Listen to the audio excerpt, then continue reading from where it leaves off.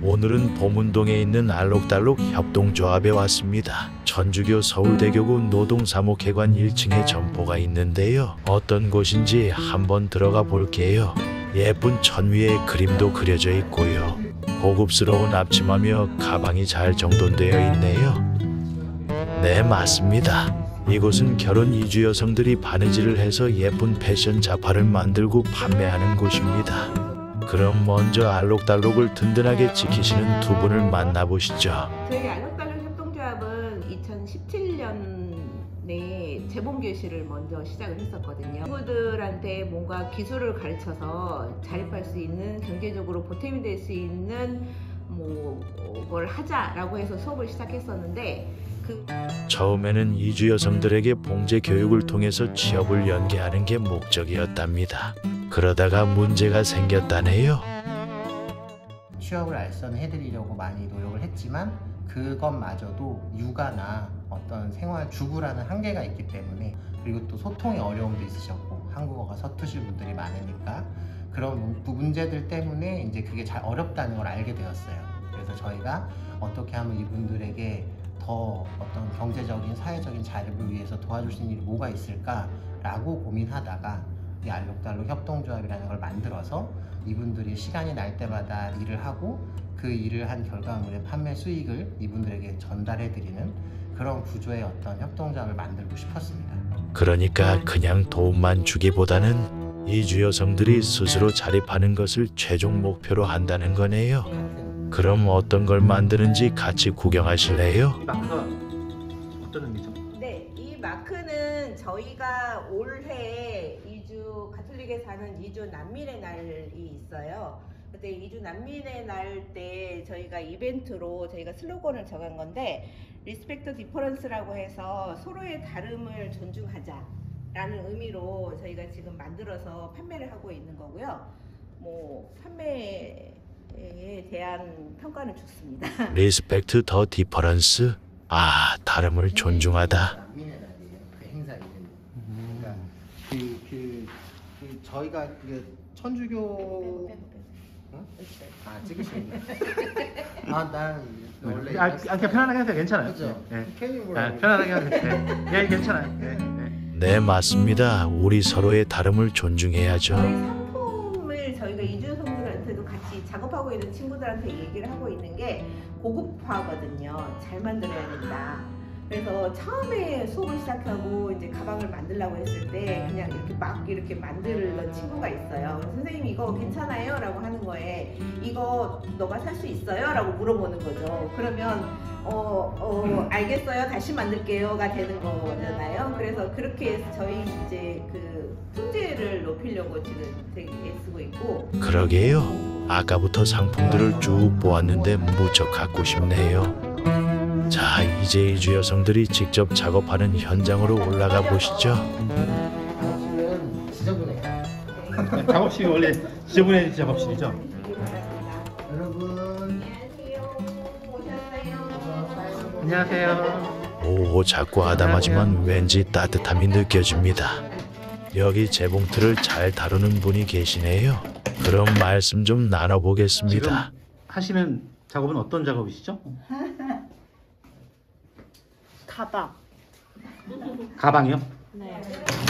음, 10년 넘었어요. 아. 네, 남편 한국 사람이에요. 어. 선생님이 소개했어요. 너무 힘들다고 도와준다고. 한, 한국에서 살아는 건 너무 힘들어요. 취직도 힘들고 일 찾는 것도 힘들어요. 애들 키워 때문에 시간가 잘 안 되니까. 음.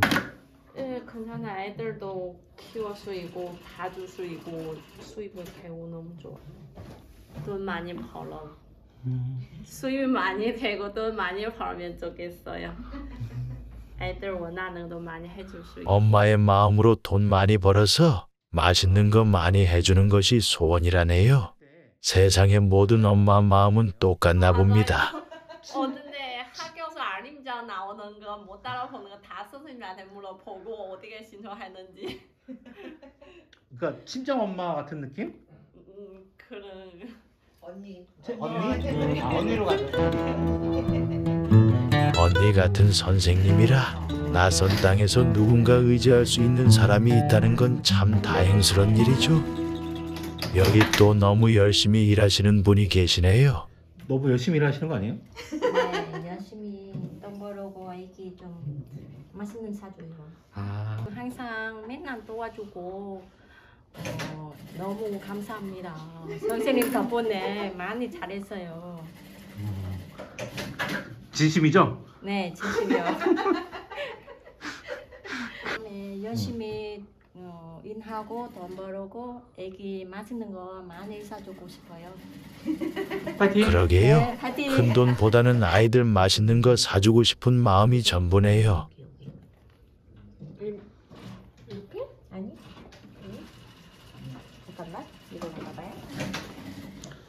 보통 이렇게 이사님한테 반말로 얘기하세요? 네, 저희 아, 보니까 되게- 이 사장님과 이주 여성들은 서로 반말로 얘기하네요.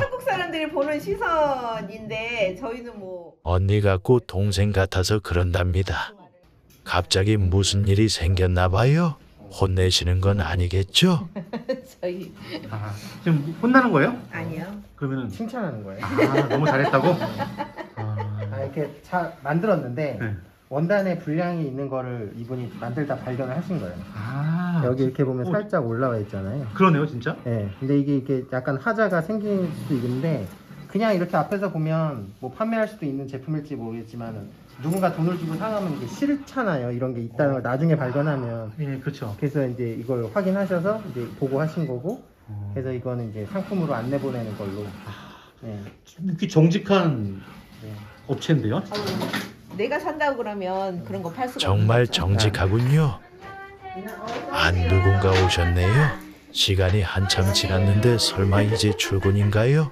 오늘 빨리 왔네. 아, 어, 일찍 끝났어요. 일찍 끝나서 아니고 음. 일이, 일이 있어서 조금 일찍.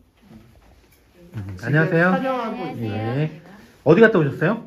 저 예. 베트남에서 왔어요. 아, 베트남에서 왔어요? 네. 오늘은 어디 다, 갔다 왔어요? 어, 오늘은 그 부엌 부엌 극장에서 출퇴근도 정해져 있지 않고 육아를 하다가 시간이 나면 잠시 들렸다가 만들고 또 일이 있으면 일보러 나가기도 하는 그야말로 자유롭네요.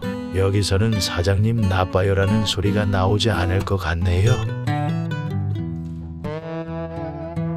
생각해보면은 이 낯선 땅에서 이주여성으로 살아간다는 건 저분들에게는 쉽지 않을 겁니다. 어쨌든 저 끝 최종 목표는 아까 말씀드린 것처럼 그 이주 여성분들 더 나아가서는 이주민분들의 어떤 경제적 사회적 자립이에요. 그 사회적 자립에 있어서 경제적 자립이 우선돼야 되지 않나라는 생각을 가지고 있기 때문에 그분들이 가지고 있는 재능이나 이런 것들을 이제 이용해서 사회적으로 자립할 수 있도록 도움을 주고 싶은 게 저희 목표고 결국에 저희 같은 한국 사람들은 이 협동조합을 떠나는 것이 어떻게 보면 저희의 큰. 우리가 이곳에서 사라지는 게 최종 목표라고 얘기하는 모습에서 무언가 비장함도 느껴지는군요.